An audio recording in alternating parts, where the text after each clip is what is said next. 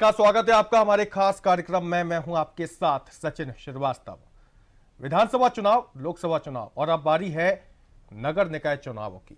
छत्तीसगढ़ में महापौर को अप्रत्यक्ष प्रणाली से चुनाव होने हैं, जिसको लेकर विपक्ष लगातार सरकार पर वार कर रहा था और इसको लेकर हाईकोर्ट में याचिका भी लगाई गई थी, जिस पर सुनवाई हुई और हाईकोर्ट ने राज्य शासन को नोटिस जारी कर जवाब मांगा है।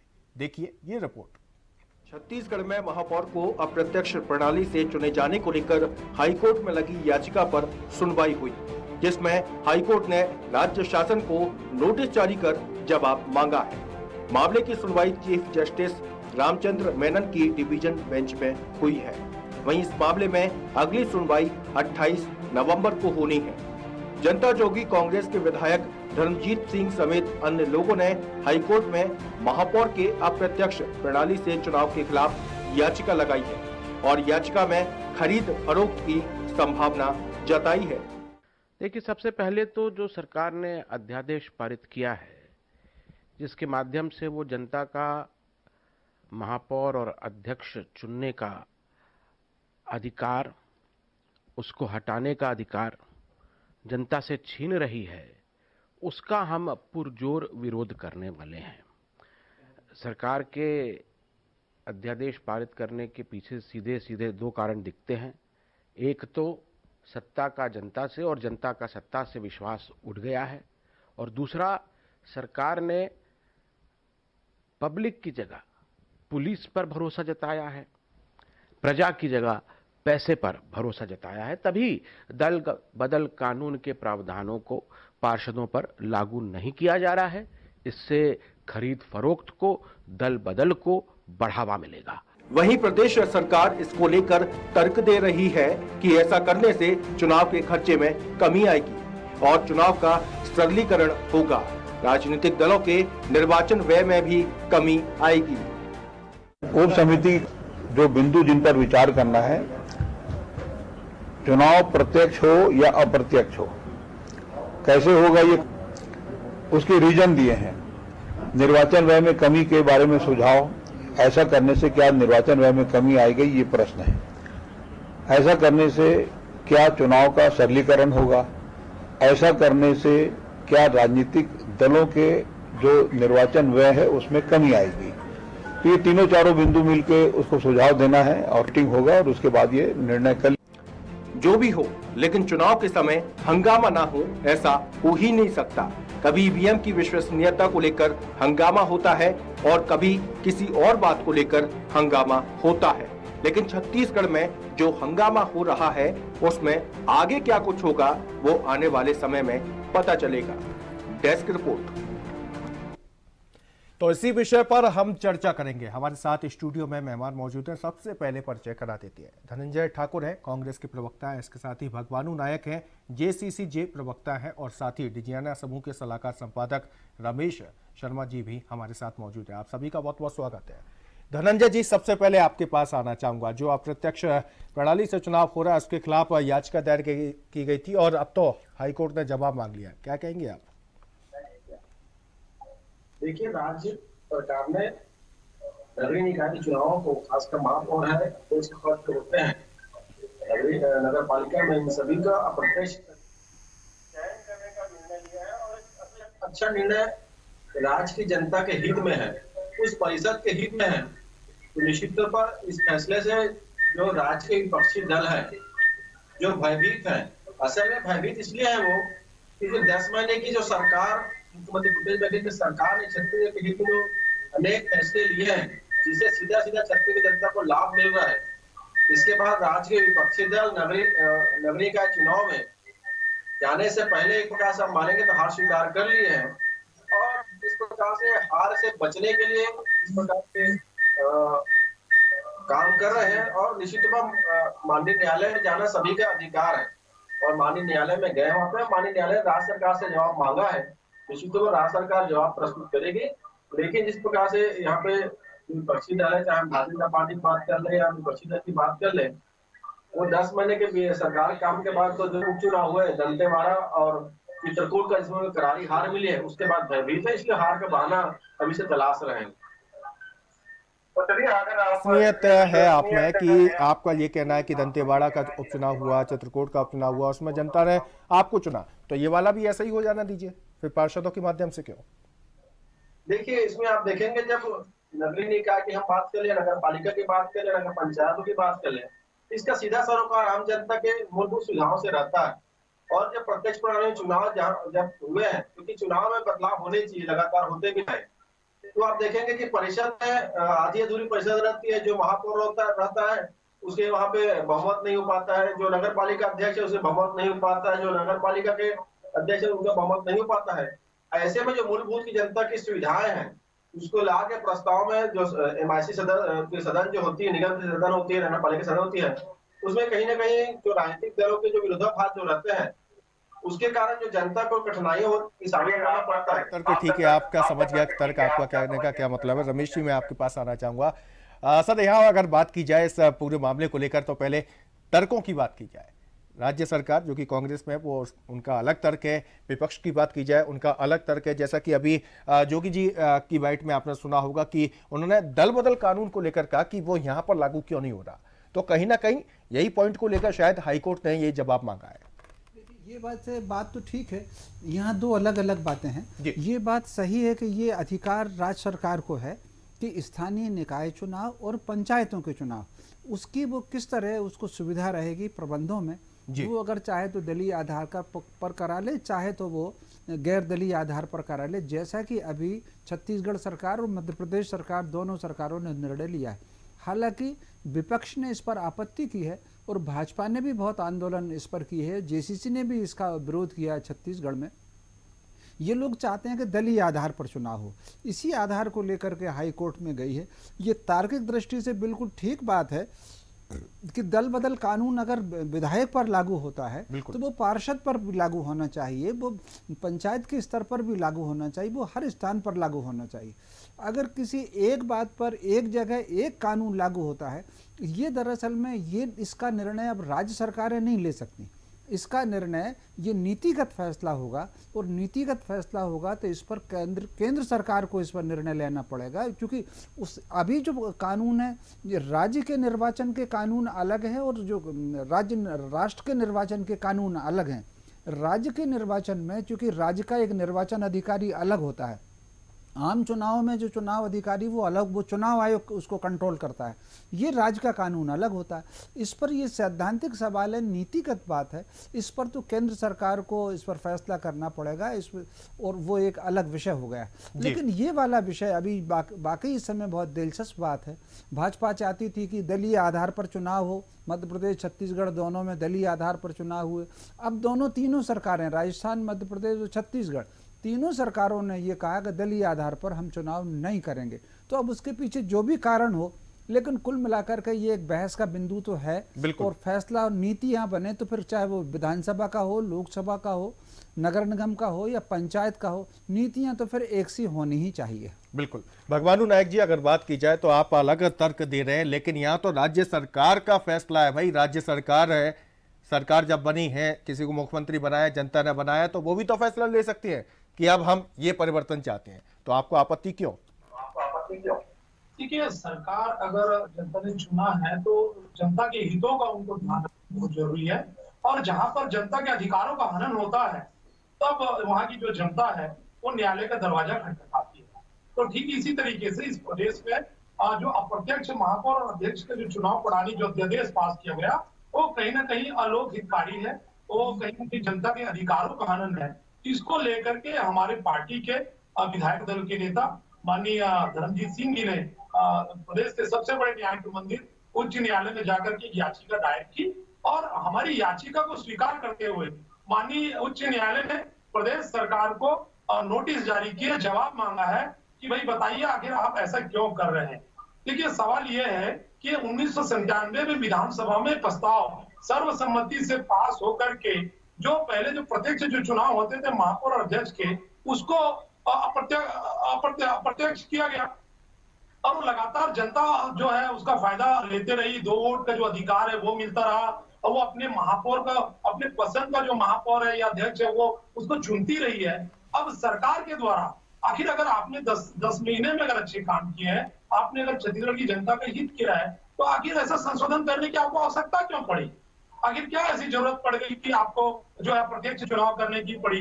जबकि लगातार आप देखेंगे जो रायपुर नगर निगम की बात करूँ तो विगत दस साल से महापौर का जो सीट है, वो कहीं ना कहीं पहले पूर्व महापौर किरणवी नायक जी थी, वर्तमान में प्रमोद दुबे जी हैं। तो वास्तव में अगर आप रायपुर शहर के हितों के लिए काम करते, या छत्तीसगढ़ में अगर दस महीनों में अगर आपने अच्छा काम किया, या जैसे कि आदरणीय हमारे प्रवक्ता महोदय भाई धनंजय जी ने कहा कि हमने दंतेवाड़ा में जीता और भी कहीं जीते। तो फिर आखिर आपको यह अध्यादेश लाने की ज़रूरत क्यों पड़ी? आप एक्ट में देखेंगे नगर निगम का जो अधिनियम है धारा पाँच जो मेयर की जो परिभाषा जो दी गई है अब वो अभी जो अध्यादेश ला रहे हैं तो कहीं ना कहीं ये जो बिल्कुल बिल्कुल यही सवाल मैंने उनसे किया था। भगवानू जी यही सवाल मैंने उनसे किया था। और एक सवाल आपसे और करना चाहता हूँ जैसा कि जोगी जी ने अभी कहा कि दलीय कानून यहाँ पर लागू क्यों नहीं है? तो आपको डर है क्या इस बात का कि आपके कुछ पार्षद आ जाएँगे तो हो सकता है कि किसी और पार्टी में चले जाएँगे? कि आपको ये डर है क्या? देखिए जो है इसमें कोई दो राय नहीं है कि सत्ता का दुरुपयोग होते भी हमने देखा है और इसका दुरुपयोग किया जाता है। अगर यहाँ दर बदल कानून होना चाहिए नहीं तो निश्चित रूप से इसका दुरुपयोग किया जा सकता है। नहीं बिल्कुल वही मैं पूछ रहा हूँ कि आपको डर है क्या कि आपके अगर बन गए पार्षद बन गए तो उसके बाद वो चले जाएँगे? डर है क्या इस बात का? इसमें डरने वाली बात नहीं है। कानून का दुरुपयोग नहीं होना चाहिए सत्ता का दुरुपयोग होना दुरुपयोग नहीं होना चाहिए। सत्ता का जो उपयोग है वो जनता के हितों के लिए होना चाहिए उनके चलिए धनंजय जी धनंजय जी क्या कुछ कहेंगे आप? धनंजय जी क्या कुछ कहेंगे आप? तो निश्चित रूप से नगर निगम की जानी देखिए निश्चित तौर पर मुख्यमंत्री माननीय भूपेश बघेल की सरकार ने नगर निगम के जो चुनाव है जो नगर निगम के जो चुनाव है उसको अप्रत्यक्ष प्रणाली कराने का जो निर्णय लिया है वो राज्य की जनता के हित में है। और आप देखेंगे आज सरकार ने ये भी फैसला कर लिया कि पार्षदों की द्वारा, जो पार्षद का जो उम्मीदवार होगा, उसके खर्चे की सीमा तय कर दी गई है। पाँच लाख रुपए के ज़्यादा पार्षद खर्च कर पाएगा, उसमें भी आप जो चुनाव निर्वाचन आपका नज़र रहेगा। तो कहीं ना कहीं चुनाव में एक बहुत सुधार के लिए सरकार काम कर रही है और मुख्य उद्देश्य ये होता है कि नगरीय निकायों का आम जनता की जो सुविधाएँ हैं, उसमें किसी प्रकार के बाधा उत्पन्न ना हो। आप देखेंगे कि पूर्व का अनुभव ऐसा रहा है कि महापौर दूसरे दल का हो जाता है और जो बहुमत जो होती है, दूसरे दल का हो जाता है। बीच में जो राजनीतिक जो भावना जो होती है, उस आधार पर कई सारे काम अटक जाते हैं। जो जनता जिसका मूलभूत के सुधार से वंचित रहता है तो ऐसी किस प्रकार की समस्या उत्पन्न ना हो, इसलिए इस प्रकार के निर्णय लिया गया है। और मैं ये समझता हूँ कि भारतीय जनता पार्टी और जेसीसी में जो विपक्षी दल है अगर वो जनता के बीच में जाने से घबरा रहे हैं तो उनको चुनाव नहीं लड़ना चाहिए। खुला मैदान है किसी प्रकार कोई रोक टोक नहीं है आप चुनाव में आइए और स्वतंत्रता से आइए। आप ज़्यादा पार्षद जीत के लेकर आते हैं तो निश्चित तौर पर आपके प्रतिनिधित्व रहेगा जनता आपको अपनी ज़िम्मेदारी सौंपेगी। लेकिन उन्हें तो डर है ना इस बात का कि उनके दो चार अगर पार्षद आ गए तो आप खरीद ले जाओगे। उन्होंने इस बात का ज़िक्र किया है कि खरीद फरोख्त होगी इसमें। क्योंकि दल बदल कानून नहीं लागू हो रहा है। बात यह भी है सवाल आप पे यह भी उठ रहा है कि भाई सब चीज़ में लागू है तो यहाँ पर क्यों नहीं है लागू? पार्षद के चुनाव पर जाए पहले जनता के बीच जाए अपनी बात को रखे एजेंडा पर रखे कोई जनता इनको नकार दी असल मायने बात यह है कि 2018 के विधानसभा चुनाव में भारतीय जनता पार्टी और उनके सहयोगियों को जनता ने नकार दिया है। और उसके बाद जो सरकार ने काम किया दस महीने की सरकार काम के बदौलत जो दंतेवाड़ा और चित्रकूट के उपचुनाव में जो दोनों इस बीच शायद आप लोकसभा चुनाव भूल जाते हैं। धनंजय जी इस बीच आप शायद लोकसभा चुनाव हर बार भूल जाते हैं। लोकसभा चुनाव में भी आपको क्या नकारा था ना? जनता ने निश्चित तौर पर जो राष्ट्र के हित पे आपकी बात हुई थी जो राष्ट्र का पर चलिए यहाँ पर आपकी दो बातें रमेश जी आपके पास आना चाहूँगा। जैसे कि कांग्रेस के प्रवक्ता कह रहे हैं कि चुनाव का सरलीकरण हो जाएगा चुनाव में व्यय का एक मसौदा तय कर दिया हुआ है। ये बातें तो कहा जाए कि हाँ ठीक है इतना फिक्स है अमाउंट फिक्स है लेकिन क्या जमीनी हकीकत में वाकई में उसके अंतर्गत ही चुनाव होता है? और दूसरी बात ये भी आती है कि मान के चलिए महापौर अभी आ, किसी और पार्टी का है पता चले कि वहाँ पर एमआईसी है वो अलग है वो दूसरी पार्टी के तो हर बार ये जोड़ देखने को मिलता है। यही जोड़ हम देखते हैं तो ऐसे ही देखते थे आ, कि भाई लोकसभा में बहुमत है एक दूसरी पार्टी का है राज्यसभा में बहुमत है तो वहाँ पर उनका बहुमत नहीं है। तो विकास के कार्य भी बाधा बाधित होते हैं इसमें। मोटे तौर पर ये तो कहना उनका अपना मानना होगा कि चुनाव प्रक्रिया का सरलीकरण। सरलीकरण तो कुछ भी नहीं होता। जैसे ये चुनाव प्रक्रिया है वैसे ही वो चुनाव प्रक्रिया है। मैं समझता हूँ दोनों चुनाव प्रक्रियाएँ एक प्रकार से समान रहेंगे। दूसरा जहाँ तक खर्चे का सवाल है तो खर्चा भी लगभग उतना ही लगेगा। बल्कि अगर दलीय आधार पर नहीं है तो जो उम्मीदवारों की संख्या अपेक्षाकृत ज़्यादा हो सकती है। दलीय आधार के चुनाव में कहीं ना कहीं उम्मीदवारों की संख्या वहीं बढ़ती है जहाँ पार्टियों को उम्मीदवार विद्रोह करते हैं। अगर विद्रोह और सभी सीटों पर विद्रोह हो ऐसा संभव नहीं है। तो इसको तो कोई बहुत ज़्यादा फ़र्क नहीं पड़ेगा खर्चे का तो। लेकिन चुनाव प्रक्रिया तो दोनों की लगभग लगभग एक सी रहेगी। ना तो ये सरल है ना वो कठिन है ना ये कठिन है ना वो सरल है। वो तो दोनों का दोनों का समान है। लेकिन इसमें जो एक बात सुविधा रहेगी ये आपने बिल्कुल ठीक कहा। कहीं नगर निगम नगर पालिकाओं में ये उदाहरण है मध्य प्रदेश में भी हैं और छत्तीसगढ़ में भी हैं कि मेयर किसी और पार्टी का रहा और विधायकों जो पार्षदों का जो दल है वो किसी और पार्टी का रहा।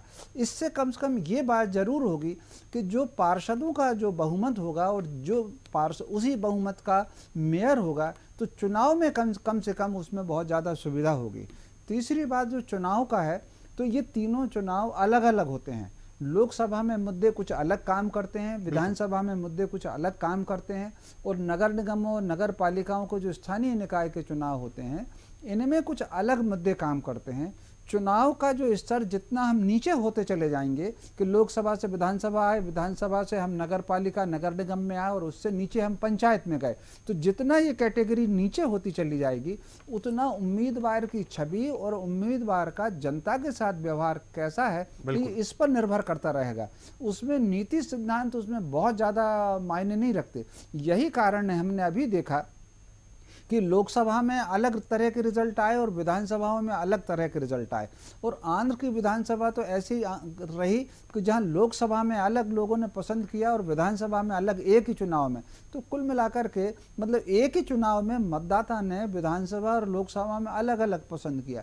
तो इसी तरीके से ये इसमें भी होगा। ये कहा नहीं जा सकता कि लोकसभा के रिज़ल्ट नगर निगम में दोहराए जाएँगे कि विधानसभा के दोहराए जाएँगे? ये एक नए तरीके का ही होगा। उसमें किसी के समर्थक आ जाएँ, किसी के विरोधी आ जाएँ तो ये बात अलग है। तो लेकिन कुल मिला के अगर सरकार को ये ठीक लगता है तो उसमें अब सरकार करे, क्योंकि मामला अब अदालत में चला गया है। अब अदालत सरकार से जवाब मांगा है। अदालत इस पर अब जो भी निर्णय लेती हो तो कुल मिलाकर के दोनों, तरीके दोनों के लगभग लगभग समान है, ना कुछ सरल है, ना कठिन है। बिल्कुल। भगवानू नायक जी, अगर बात की जाए, जैसे कि कांग्रेस के प्रवक्ताओं का साफ़ तौर पर ये कहना है कि एमआईसी को लेकर बात की जाए महापौर अलग है एमआईसी अलग है। तो आप ये मानते हैं कि कुछ ना कुछ जगह पर अगर ऐसा होता है तो विकास कार्य बाधित होते हैं। और चूँकि ये चुनाव वो चुनाव है जैसा कि रमेश जी बता रहे थे कि जितने स्थानीय लेवल पर जाए तो आस, आ, उसका व्यवहार देखा जाएगा प्रत्याशी का कैसा चुनाव है। और ये वो चुनाव है जहाँ पर राष्ट्र के मुद्दे की बात नहीं होगी। या तक कि ये कह दिया जाए कि राज्य के मुद्दे की बात नहीं होगी या तो ये कहेगा सामने वाला व्यक्ति जो वोट डालने जाएगा भाई कि मेरे सामने वाली सड़क कैसी है नाली कैसी है मुझे पानी की सुविधा मिल रही है। क्योंकि ये तो स्थानीय मुद्दों पर चुनाव लड़ते लड़ा जाता है। तो स्थानीय मुद्दों पर अगर आप खरा उतरते हैं तो पार्षद आपके ज़्यादा बनेंगे पार्षद ज़्यादा बनेंगे तो आपका मेयर होगा। तो इसमें क्या कुछ दिक्कत है?